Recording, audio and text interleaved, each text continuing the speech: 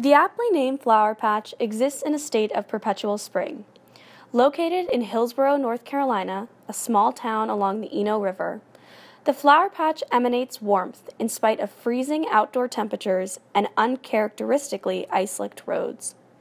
It's just as much the actual Fahrenheit settings on the thermometer, intended to keep the flowers fresh, as it is the palpable goodness of the women who operate it together. Dion Compton is the proprietor of this thriving shop. Inspired by her mother's passion for the floral business, Dion has taken over ownership and management in recent years. The Flower Patch continues to be a family affair, with Faye Pope, Dion's mother, working alongside her. Faye is a character, a spitfire, and all other cliched terms to describe someone with a hearty laugh, a big personality, and a lot of opinions. Not one to shy away from doling out free advice, Faye is her many customers' pro bono therapist. She also isn't afraid to seek the help of her loving husband of more than 55 years. Luring him into the flower patch with promises of laughter and good cheer, Mr. Pope willingly changes light bulbs and helps out around the shop. However, this is no empty promise. Diane, another woman who works at the flower patch, is just as lively as Dion and Faye.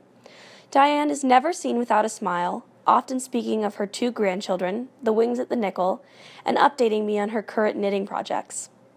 The women's chatting is usually punctuated by phone calls from customers requesting arrangements, like a dozen red roses for Valentine's Day, or placing a delivery order. Announced and unannounced visitors also tend to pop in throughout the day, preferring to confirm orders in person than over the phone. Whether one's sending a celebratory bouquet to a work colleague, excitedly picking up a boutonniere for a prom date, or planning table settings for a wedding to a high school sweetheart, as this couple did, the women of the Flower Patch lovingly usher in these rites of passage. Yet, beneath the story of this shop lies Dion's story. Dion is not only a small business owner, but also a mother to her two children Chandler, a high school junior who loves playing baseball, and Caroline, an eighth grader whose friends are comfortable confiding in Dion about both girl and boy drama. Dion is also an active volunteer in her community. She can be seen working in the concession stand, fetching Gatorade for indecisive spectators at her son's baseball and soccer games, laughing alongside her daughter's volleyball teammates, reminding them righty tighty, lefty loosey as they install the nets, and gathering her family together to watch late afternoon games of which Chandler's team, of course, wins. Still, having grown up on her parents' farm, Dion stresses the importance of familial bonds to her two children. As Chandler recently remarked to his mother, we're not like other families. Not everyone is as close as we are. Chandler intended this statement in a figurative sense, but it can also be taken quite literally. Dion lives between two of her five siblings.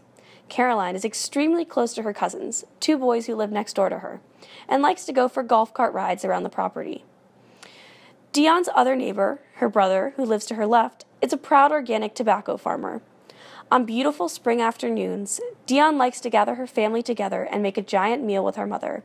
This ritual is repeated in the fall as well, with big pots of delicious stew prepared outdoors. Dion is on the precipice of great change, straddling two generations, supporting her children and her parents, while also being guided by her mother's dry wit and caring hand. Dion's life is an interconnected family affair that finds its roots in Hillsborough and blossoms at the Flower Patch.